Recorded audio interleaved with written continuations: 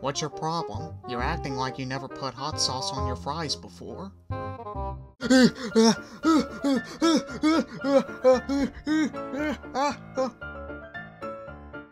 Gallus, that hot sauce was so hot.